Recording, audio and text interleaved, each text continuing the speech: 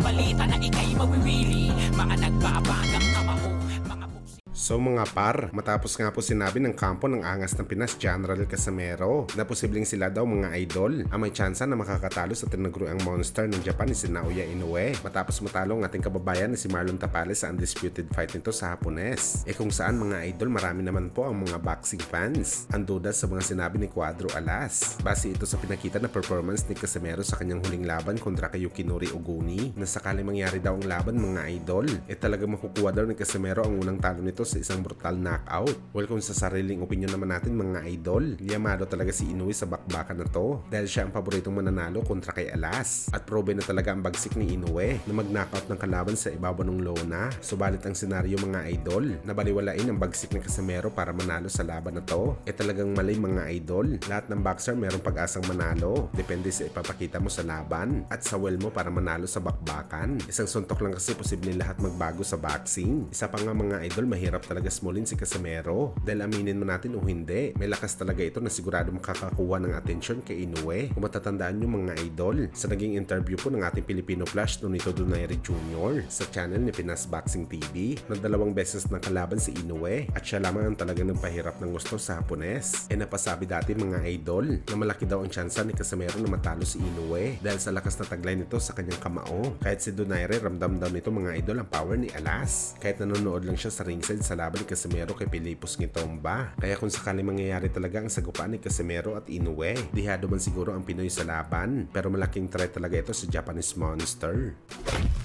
Sa kabilang banda naman mga idol, sa naging panayam nga po ng legendary Hall of Famer na si Bernard Hopkins, sinabi nito mga idol kung bakit napaka-special na fighter ng ating pambansang kamao Manny Pacquiao sa kabila ng edad nito na mahigit 40. Ito daw dahil mga idol sa matinding disiplina ni Pacman sa kanyang sarili at kung paano niya daw pangalagaan ang kanyang katawan kaya nagagawa niya daw ang imposibleng bagay sa bakbakan. Kagaya na lang mga idol sa pagtalo nito dati sa number 1 welterweight fighter na si Kit Thurman na talagang napakadelikado kalaban lalo pa na sa 40 anyos na ang edad mo at bibihira lang daw mga idol ang mga boxer na may ganitong special skills para makatongtong sa ganitong level sa bakbakan. At sa naging ibang interview dati mga idol ni Bernard Hopkins kung papipiliin man daw siya mga idol kay Mayweather Jr. at Manny Pacquiao kung sino sa kanila ang mahirap kalaban. Hindi na daw ito mga idol magdadalawang isip. Si Pacman daw talaga mahirap kalaban kumpara kay Calvo. Si Mayweather Jr. daw mga idol easy work lang talunin. Masyadong basic lang daw kasi ang galawan nito. Marami na daw nakalaban si Hopkins ng kagaya ng estilo ni Floyd kaya sigurado siya nakakatayin niya lang ito sa lona. Pero si Pacman daw mga idol delikado kalaban dahil masyadong magalaw ito sa ring. Unpredictable daw ang galawan ng Pinoy kaya mahirap ito basahin. Hindi ka naman daw makapag-prepare kay Pacman ng maayos sa training dahil wala ka naman daw makukuha na sparring mate na kayang gayahin ang galaw ng Pinoy legend sa bakbakan.